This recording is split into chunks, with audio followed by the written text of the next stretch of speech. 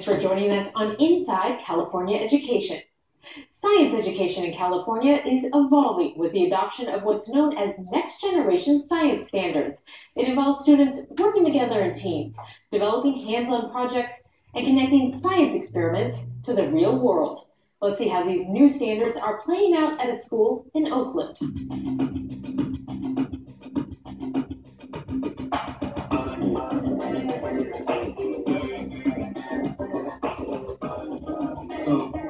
Gonna wrap the wire six times around the beacon, and then we gotta connect the end of the wire to the battery like that. See? These young scientists at Edna Brewer Middle School in Oakland are working on an experiment that did not come from a textbook. Instead, the hypothesis was designed, planned, and executed by the students. Kids came up with questions like long nail versus short nail. Does that make a more powerful magnet? Does it matter how many times I wrap the wire? What if I use a different battery? What, how do the batteries compare? Most teachers, they make up the lesson plan and then we have to follow it. Like we have to copy things down from the board or stuff.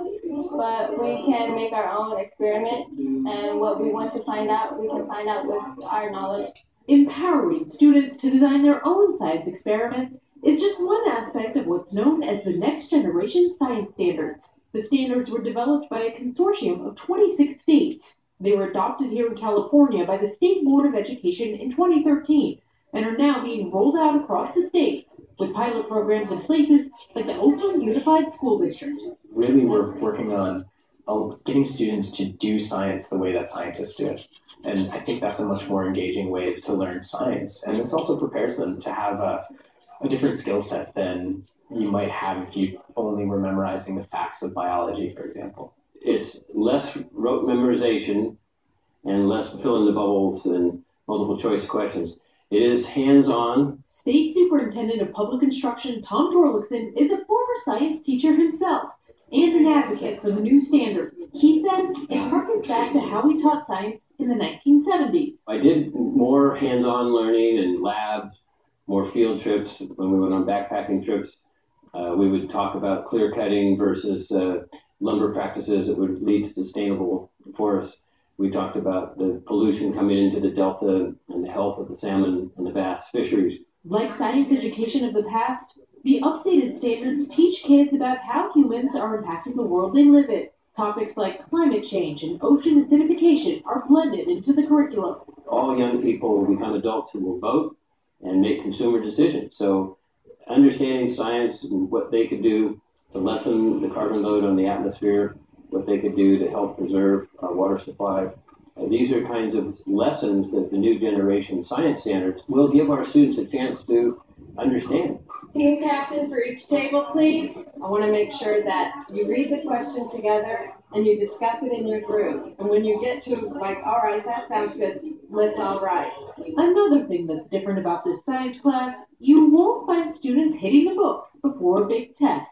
Our notebook is our textbook, and we don't have a textbook, so our notebook, everything we write in there is sort of our textbook. So this is what we're doing today. This is our investigation plan, and we did this yesterday, and we came up with um, our question and like the variables um, that we're changing.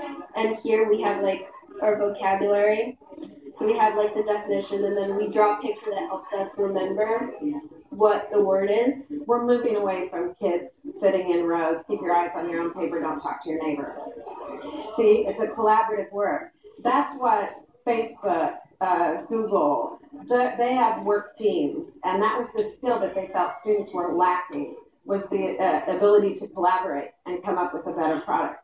So we're teaching them that as well. We can share ideas with the people around us instead of um, staying quiet and just doing our own thing. It gives us a chance to spread our ideas. All of these changes come with a learning curve, not just for the students, but also for the science teachers like Jeri Johnstone. Our thing has been to use these popsicle sticks as an insulator, but I'm trying to engineer too. So we had a problem, I engineered a solution. This is a battery holder. It requires me to be able to do the science too. And sometimes I have to go like investigate some things myself. And it encourages me to keep doing that too. Like building a battery holder from a 3D printer because we were getting our fingers warm. I think one of the biggest challenges and opportunities is is getting the word out to all of the teachers and giving teachers a chance to be able to have a space where they can experiment with these new standards and think about how their teaching might change. This is something that teachers are welcoming.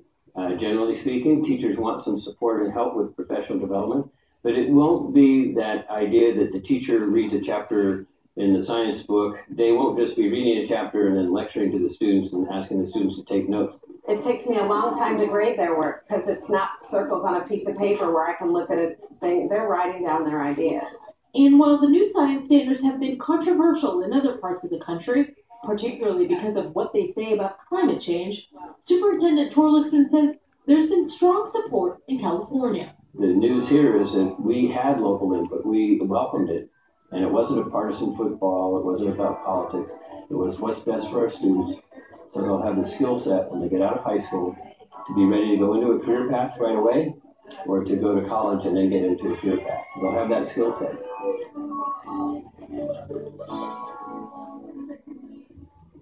The next generation science standards have a three dimensional learning approach. The first, called Practices, focuses on how scientists and engineers work in the real world. The second, Cross Cutting Concepts, helps students view their surroundings through a scientific lens. The third, Core Ideas, is the curriculum that should be taught in the science classroom. It's no secret that college costs are on the rise. With in state tuition